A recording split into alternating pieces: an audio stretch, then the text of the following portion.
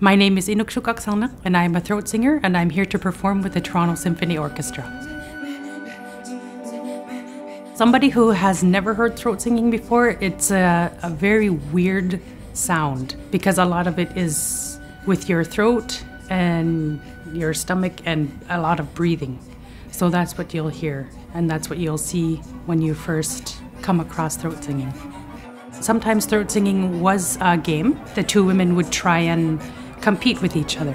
You would speed up and slow down and change the sound with your partner, and then whoever laughs first is usually the loser. so what we do is, is we mimic nature. We have different songs such as The Wind, a song called The River. So that's the flowing river in the spring and summer, and basically all the other little things that are around. If you close your eyes and listen to our songs, then you'll be able to hear the wind or you'll be able to hear the geese flying. There's also another throat song which I was taught by a, a lady from northern Quebec, and it's called Primeroloapik. And so the story behind this song is a little girl had some puppies and she wanted her favorite puppy to be the lead dog of her dad's dog team. And so she would sing this song to the little puppy in hopes that it would become the lead dog of the dog team.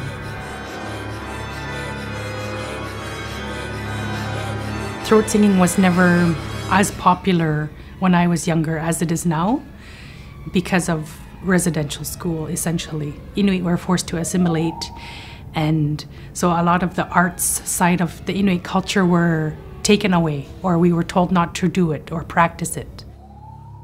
Throat singing is um, it's kind of making a comeback in the Inuit culture over the last 20 to 25 years. The CBC put on a what they called a True North concert in 93 or 94, and that's the very first time I heard live throat singing. So I was about 14 when I first heard it, and I knew that I wanted to learn how to do it.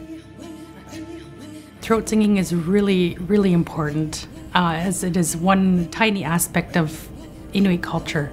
And to be able to pass that on to the next generation is really important, which is why I have learned how over 20 years. It's really important to be able to expose Canada and the rest of the world to throat singing, to the arts side of Inuit culture, and to be able to educate people where Inuit come from and where we hope to go with promoting our culture. I won.